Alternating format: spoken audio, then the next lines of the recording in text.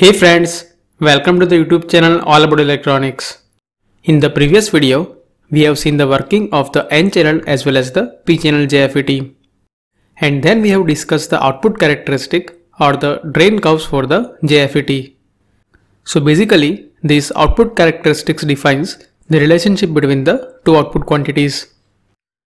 And in case of the JFET, it is the relationship between the drain current ID and the voltage VDS. And this output characteristic is obtained for the fixed value of VGS. So in the previous video, we have found the output characteristics of this JFET for the different values of VGS.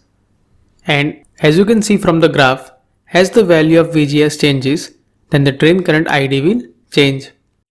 So now let us find out the relationship between the input voltage VGS and the output drain current ID. So if we plot this relationship, then it is known as the transfer characteristic. So basically, this transfer characteristic is the plot which defines the relationship between the input and the output quantity of the device and it could be either voltage or current. So for the JFET, if we keep this voltage VDS constant and for the different values of VGS, if we plot this current ID, then we will get the transfer characteristic of this JFET. Now for the BJT if you know, the relationship between the output collector current and the input base current is linear and it can be given by the expression IC is equal to beta times IB. But for the JFET, the relationship between this input voltage VGS and the drain current ID is nonlinear and it can be given by this expression that is drain current ID is equal to IDSS times 1 minus VGS divided by VP whole square. And if we want to find this relation graphically, then it can be found from the output characteristic or the drain curves of the JFET. So to find these transfer characteristics, first of all let us represent this drain current ID and the voltage VGS on the different axes. Now on the right side of this curve, we have a drain curves for the different values of VGS. So from the right side, First of all, let us extend the saturation drain current for the voltage VGS is equal to 0. And at the same time, let us draw a vertical line for the value of VGS is equal to 0.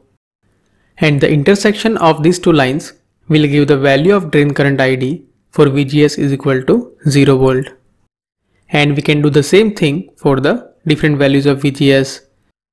So for VGS is equal to minus 1, if we extend this line to the left and if we draw a vertical line for VGS is equal to minus 1 volt, then we will get an intersection point which represents the value of drain current for VGS is equal to minus 1 volt.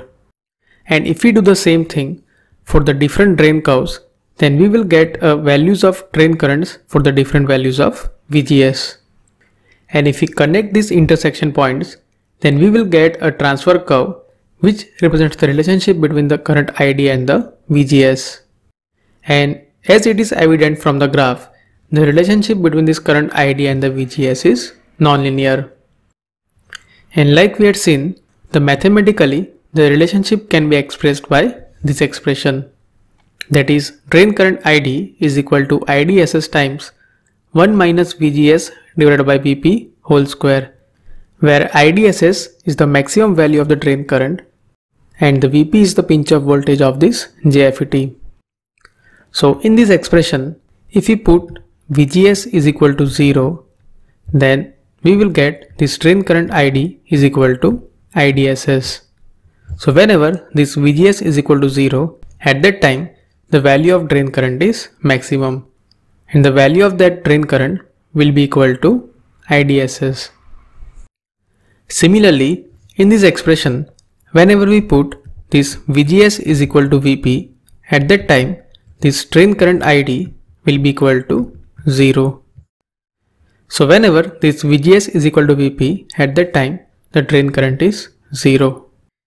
So by putting these two values, we will get uh, two extreme points of this curve. So now let's take the value of VGS in between these two extreme points. So let's say for some JFET, the value of IDSS is equal to 12 milliampere and for that JFET the value of pinch off voltage Vp is equal to minus 4 volt. And let's say we want to find the value of drain current whenever this VGS is equal to minus 2 volt.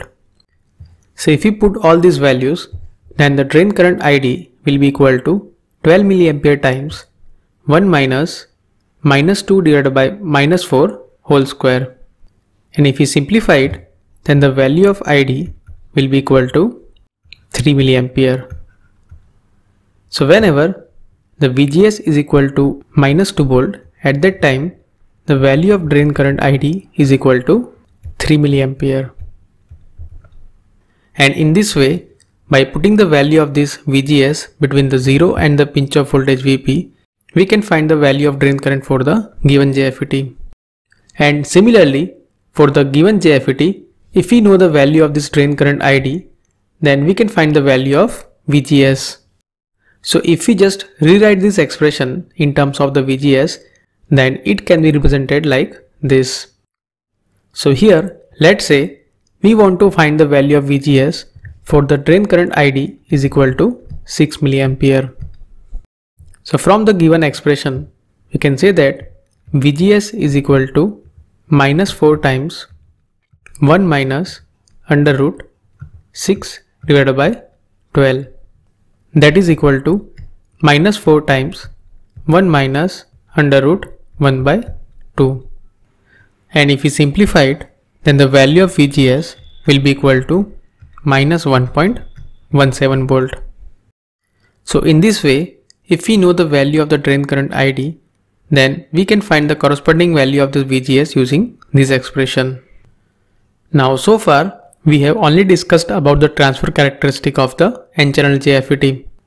So now similarly, let us see the transfer characteristic for the P-channel JFET.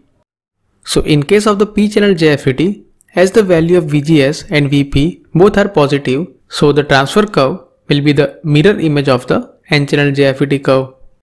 So if we see the transfer curve for the p-channel JFET, then it will look like this.